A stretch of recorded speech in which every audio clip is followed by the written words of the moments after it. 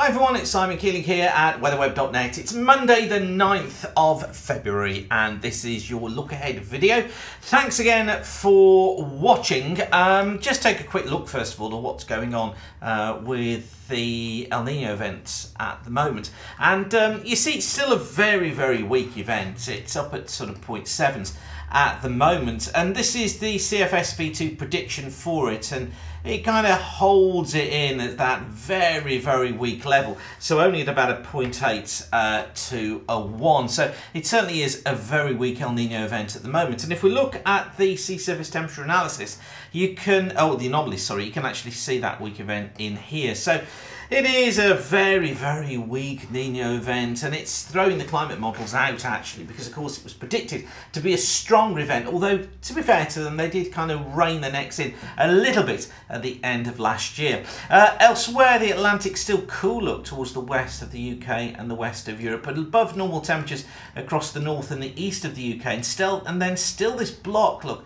of warm water out in the western Atlantic and both of these features are having an impact on the weather across the uh, across the UK. When you tend to get warmer uh, water, you can get the potential going if you get cold air over the top for more uh, unstable conditions, so more in the way of showers. So uh, yeah, interesting times and a mass look of warm water still uh, across the uh, western seaboard of the states and uh, heading out into the eastern Pacific there. So certainly that pattern is having an impact on the weather as we see just at the moment.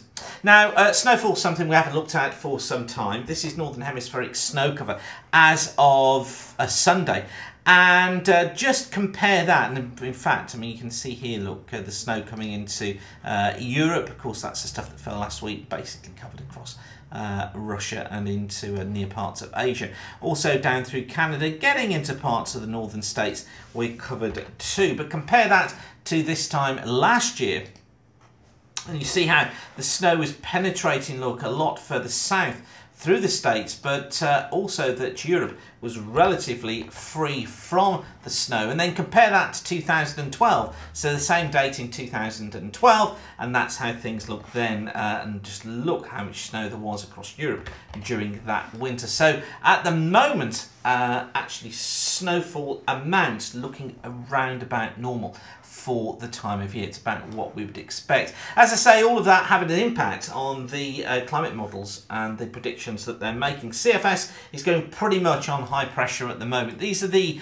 uh, anomaly, the height anomalies for week one. And British Isles is underneath here, look. And notice how uh, week one, the CFS is still building these height anomalies through the country, so has the high pressure dominating that we've got at the moment.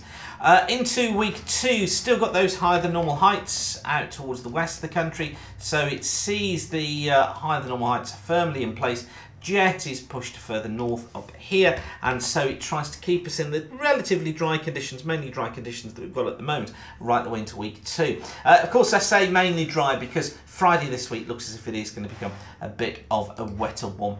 And then uh, week three and week four well week three keeps us in the higher than normal uh, category and if we take a look at week four, hey presto, look at that. Uh, same again, still keeps us, uh, get rid of that, still keeps us with the higher than normal heights, but out towards the west of the country by then. What it's trying to do is to build uh, the idea of the ridge in the Atlantic and actually pulls the jet closer through the British Isles. Now, we've been thinking uh, that we may go into quite an unsettled start to March. And certainly this chart is indicating that that's the way that this could set up particularly if we do get this scenario of the ridge across the western states trough across the east. That allows this trough to try and get going uh, across the UK and probably what would happen is the high collapses out into the Atlantic down here and we find the ridge nudging further south and it eventually does that. So it eventually pulls back in